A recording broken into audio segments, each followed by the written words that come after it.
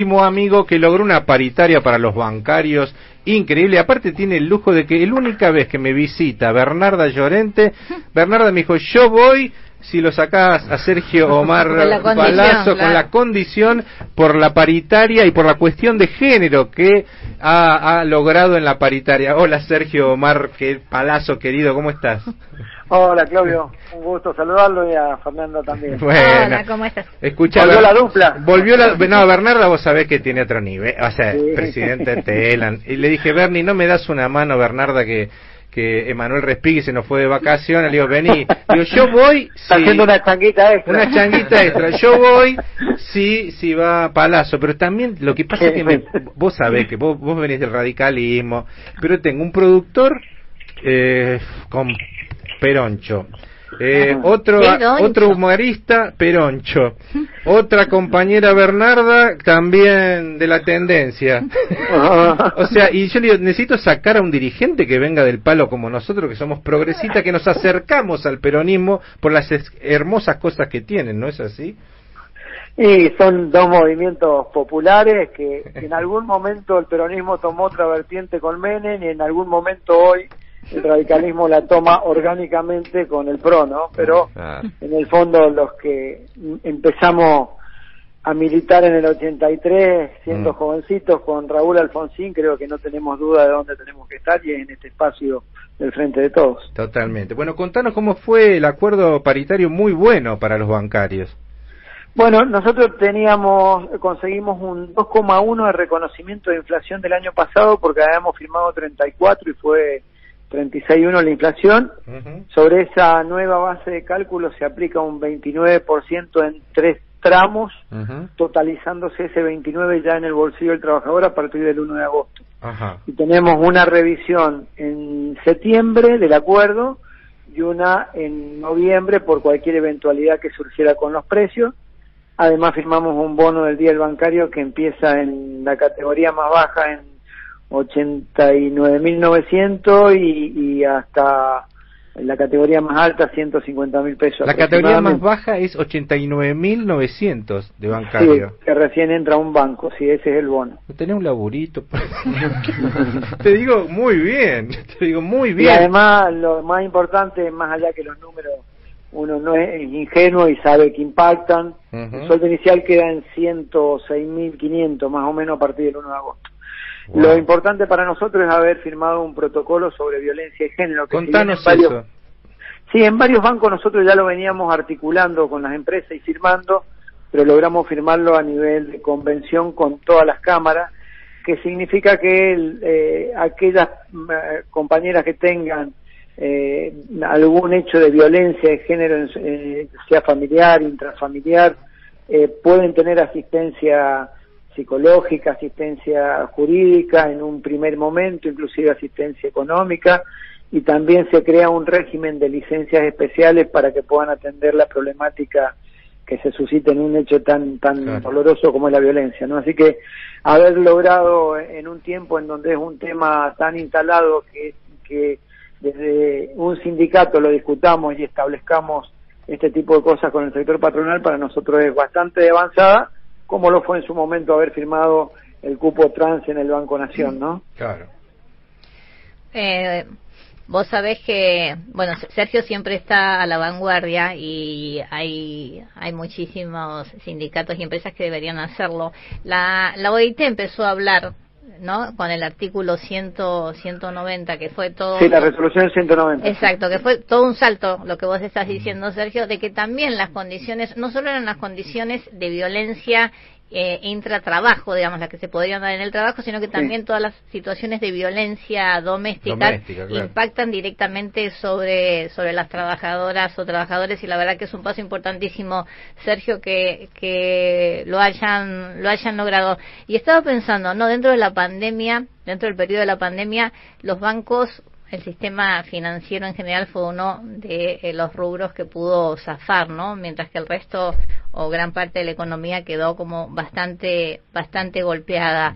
Eh, el gobierno ha convocado a eh, sindicatos y trabajadores para intentar avanzar en acuerdos en acuerdos salariales para el resto del año. ¿Cómo, cómo ve Sergio la recomposición salarial si va a ser posible eh, en un año difícil para la economía argentina, pero también un año muy difícil para el bolsillo de los trabajadores y trabajadoras? Bueno, tenés dos problemas para empezar a discutir ese tema. Uno es el efecto de la pandemia que en algunas actividades ocasionó que no pudiera haber una negociación salarial eh, normal, digamos, y quizás ni siquiera la hubo. Y otra, la pérdida del 20% del poder adquisitivo del salario en el sector privado durante los cuatro años del gobierno de Macri. Claro. Yo creo que hay indicios y hay, y hay señales eh, importantes de algún crecimiento de la economía en determinado rubro y me parece que en esos rubros rápidamente hay que empezar a recomponer el salario y en aquellos casos donde hayan tenido pérdida de poder adquisitivo durante el macrismo en este año de pandemia, los acuerdos tienen que estar por encima de la inflación para empezar a recuperar el poder adquisitivo y no que sea el trabajador el que haya pagado el ajuste del proceso neoliberal o lo que significó la pandemia. Es, importantísimo por eso la paritaria que, que ustedes cerraron, Sergio, porque también la pregunta, no, no solo en Argentina, no sino también la pregunta en el mundo con las economías golpeadas y con todo lo que significa es quién paga o quién va a pagar eh, el costo de la pandemia y el costo de la reconstrucción. Y en muchos lugares, digamos, ya está claro que van a ser los trabajadores. En Argentina esta, esta discusión parece ir por otros carriles.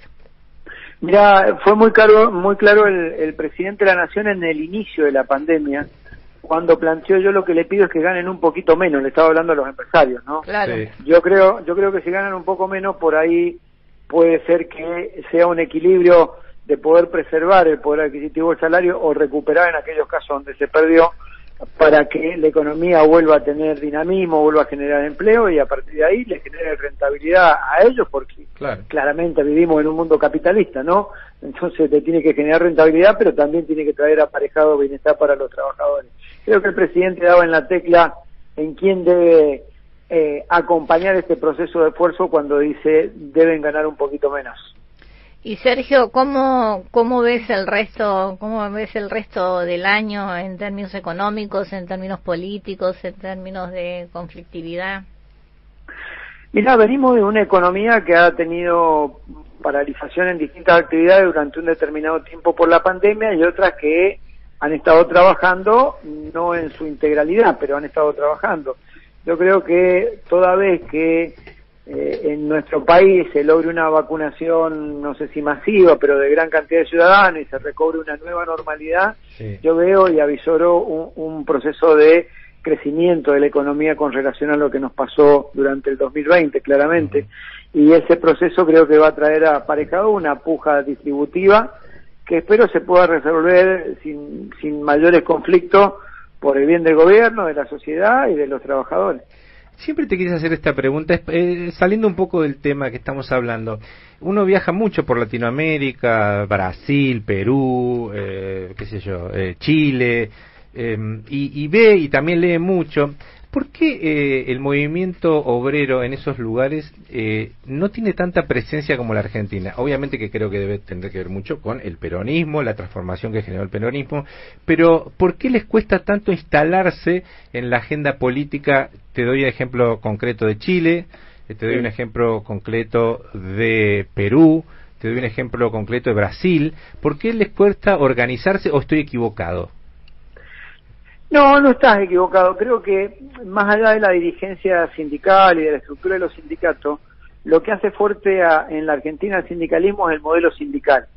Este modelo que a veces se lo cuestiona por la unicidad del mismo, en función de que quien tiene la representación, quien tiene la mayoría de afiliados es el que tiene la personería gremial para negociar.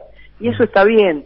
Yo a veces cuando detrás de el discurso de libertad sindical que propicia la OIT, que propician eh, países europeos eh, con, su, con, esas divisiones que hay, yo termino diciendo que detrás de, ese concepto de libertad sindical terminan siendo funcionales a la estrategia de división del movimiento obrero en favor del capital. Eh, pasa eso en el resto de los países de Latinoamérica que vos mencionas, porque hay sindicatos por empresas y por región. Entonces, un, mismo, suponete, en el caso, un banco X internacional que opera en Argentina y que opera en Chile, en Chile tiene 11 sindicatos. Por ejemplo, el Banco Santander, en Chile tiene 11 sindicatos. ¿Cuándo te pones de acuerdo o con qué facilidad la, patronal? Todo atomizado y no, nunca se pone de acuerdo. Yo creo que el eje central de la fortaleza del movimiento sindical argentino es, precisamente su modelo sindical. Mm. Y después tenés, sí, aparecen, pero como el modelo sindical no es todo lo fuerte que en Argentina, en Brasil tuviste un nombre surgido del movimiento obrero que fue Lula de presidente, pero se fue Lula y quedó desarmado prácticamente el movimiento sindical, fue muy atacado por Bolsonaro y la capacidad de respuesta no fue como fue en la Argentina, que si bien habían sectores que tenían alguna llegada con el gobierno, hubieron vastos sectores entre los que se encolumnó la asociación bancaria que dieron pelea y pudieron eh, eh pudieron eh, sostener y mantener eh, muchos de los beneficios eh, legislativos o laborales que tienen los trabajadores. Qué interesante. Eh, eh, yo tenía una idea, pero me lo aclaraste, esto de que haya en, otros países distintos sindicatos en un mismo, digamos, en una misma rama, es muy difícil que se pongan de acuerdo, muy difícil. Inclusive cuando plantea el sindicalismo europeo, que tiene la tendencia a generar distintas centrales, por ejemplo, va a España y tenés la UGT, mm. Comisiones Obreras y hay otra más que no la recuerdo muy bien ahora. Y tienen un perfil ideológico inclusive, unas son socialdemócratas, otros son más a la izquierda, menos a la izquierda. Y en el fondo terminan discutiendo dentro de la misma empresa tres centrales sindicales. Este es otro tipo de modelo, ¿no? Terminan discutiendo tres centrales sindicales, entonces tenés representación, te vas al corte inglés, que tenés, tenés representación de comisiones obreras, representación de la UGT y representación de la otra central sindical, claro. igual que acá. Mm. Ahí me acordé el nombre. Entonces vos decís, tenés fragmentada la representación. Y cada uno pujando por tener más afiliados para ser el que mayores eh, mayor la representatividad tiene. Entonces vos decís, ese modelo al cual abrevan e intentan hacernos ver como un modelo de democracia sindical, lo que hace es fragmentar el movimiento obrero y termina siendo funcional al capitalismo para que el capitalismo someta al trabajador en, en definitiva a los designios de la ley el que tiene más poder y el que tiene más poder es el sector empresario en ese esquema. Y la última que te hago, Sergio Palazzo, ¿existe algún país que tenga eh, el movimiento obrero tan organizado como la Argentina? Mirá, hay muy buen eh, sindicalismo, te podría decir, o, avance en ley en el sindicalismo nórdico, por ejemplo. Eh, vos tenés muchísima tasa de afiliación, 90% en algunos países.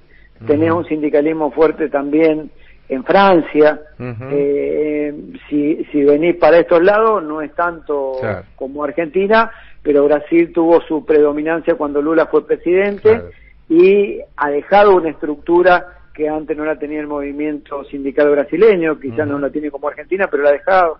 Así que veo que hay lugares, pero son como islas, pequeñas islas, ¿viste? Un archipiélago, te diría. ¿Y sabes algo de cómo se organiza en Estados Unidos? no existe el, existe el movimiento. ¿Cómo es en Estados Unidos donde es, ah, eh, eh, el cuenta propin, yo me salvo, me rajan, eh, no te pagan indemnización, me paso de es muy profesionalizado el, el, tema ahí, profesionalizado en el sentido de que a veces inclusive contratan agencias para sindicalizar.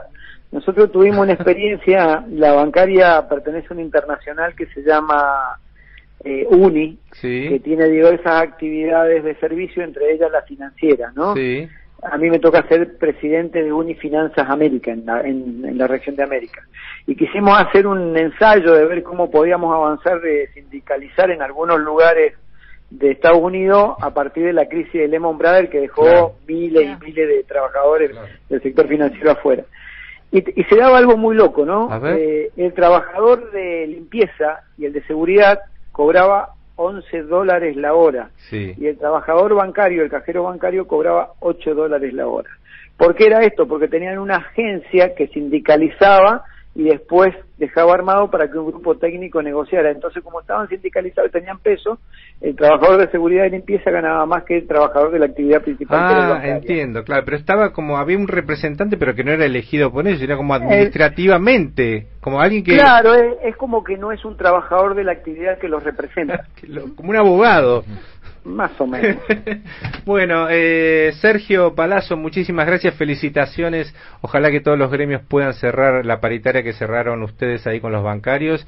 Y bueno, a tus órdenes como siempre y muchísimas gracias. ¿eh? No, gracias a ustedes y bueno, volvió la columnista. En un, en un mes, en un mes dice que vuelves y te hacemos la nota de nuevo, así que La bueno. si, top. si venís al piso, Sergio. Si venís al piso cuando ya no haya el tema protocolar COVID, dale. Y hoy no discutieron. Ah, ¿Está ahí? ¿Se, se cortó? ¿Estás ahí, Sergio?